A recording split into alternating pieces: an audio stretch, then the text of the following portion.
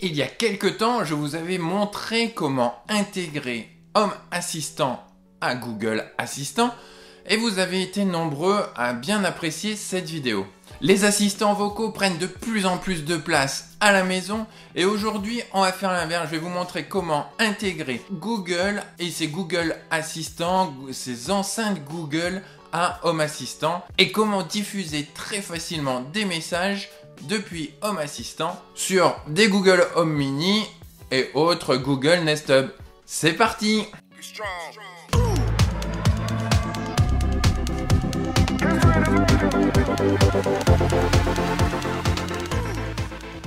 Bonjour, c'est Thomas et bienvenue dans mon journal, dans mon carnet de notes dédié à la domotique.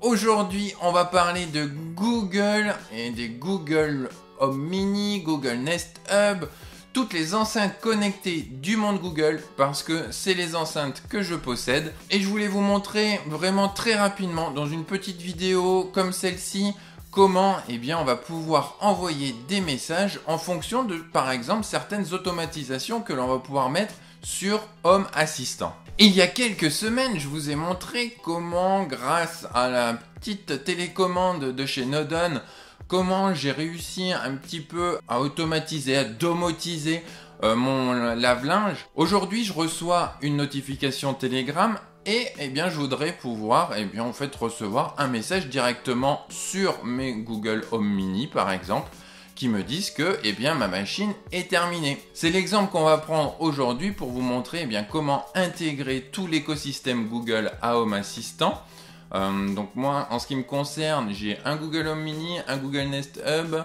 et un Chromecast. Le Chromecast, je suis pas sûr qu'il soit branché encore, donc euh, pas sûr qu'on l'intégrera dans cette vidéo là. Mais voilà, l'idée c'est de recevoir un message vocal sur son, sur ses enceintes Google. J'ai plein d'autres automatismes qui me viennent en tête et que je pense mettre en place. Je pense notamment, bah, par exemple, à la boîte aux lettres. Hein. Je suis en train de réfléchir comment domotiser, comment recevoir un message lorsque le facteur est passé, eh bien on pourra très bien adapter ce qu'on va mettre en place aujourd'hui pour ma machine à laver, eh bien le mettre en place pour n'importe quelle euh, autre chose où on souhaite recevoir une notification, une alarme euh, quand un événement se passe. Vous allez voir que c'est très très simple à mettre en place, on passe de suite sur l'ordinateur. On va donc se rendre sur euh, Home Assistant. Vous allez aller dans configuration. Alors là, je suis en dernière mise à jour, hein, donc on est en 2022 enfin c'est la 2021.12.10. On va dans appareil et là vous devriez avoir quelque chose qui s'appelle Google Cast. S'il ne s'affiche pas, vous pouvez faire ajouter l'intégration et taper ici Google. Vous avez à ce moment-là Google Cast ici. Donc là, il s'est affiché automatiquement. Vous cliquez sur configuration. Voulez-vous commencer? Oui, on soumet.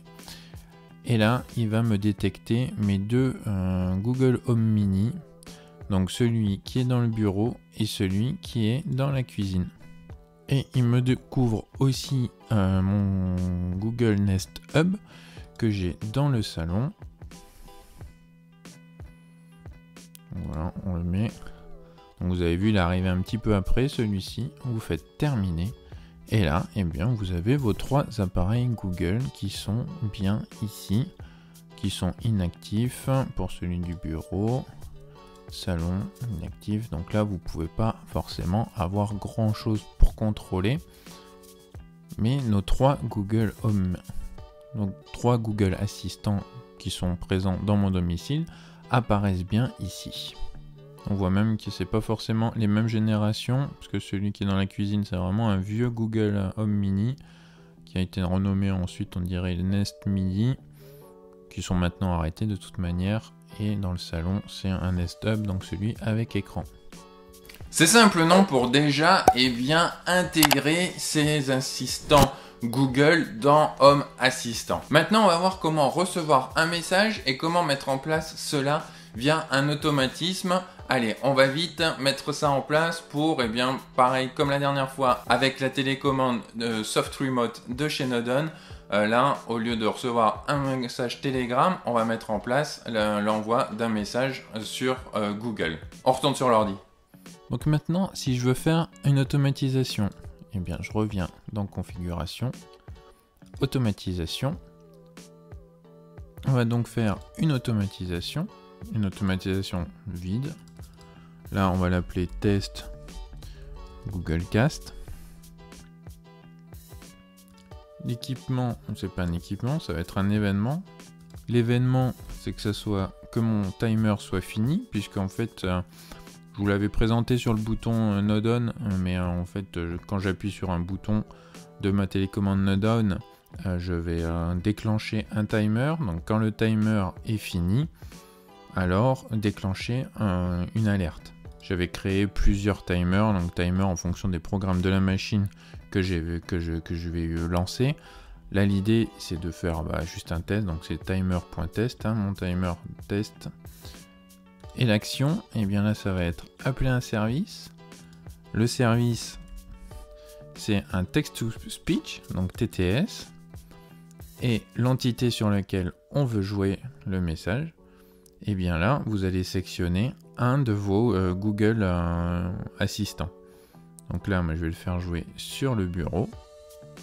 Et le message, je vais mettre la machine est terminée. On sauvegarde. Mon automatisation est bien créée. Là, pour tester l'action, eh bien, je peux cliquer sur exécuter. La machine. Et là, voilà, ça vient de jouer sur mon Google Assistant la phrase que je lui ai dit. Donc là, on a vraiment créé notre automatisation. Là, j'ai cliqué sur exécuter pour le jouer, mais si le timer, euh, là, si on, je lance un timer, eh bien, ça fera bien euh, l'exécution de mon automatisme se fera. Donc, j'ai réussi à jouer un message sur mes Google Home Mini. Je pourrais très bien jouer sur ceux de la cuisine. On peut très bien penser à faire euh, sonner quelque chose en fonction d'une certaine action. Euh, peut-être dire si une caméra détecte un mouvement, bah, de faire jouer un message sur les Google Assistants. On peut peut-être voir avec le Google Nest Hub d'afficher des choses sur l'écran. Sur pour l'instant, c'est vraiment pour faire une découverte et vous présenter un petit peu ce fonctionnement. Vous voyez, je vous avais pas menti quand je vous avais dit que c'était vraiment très très simple.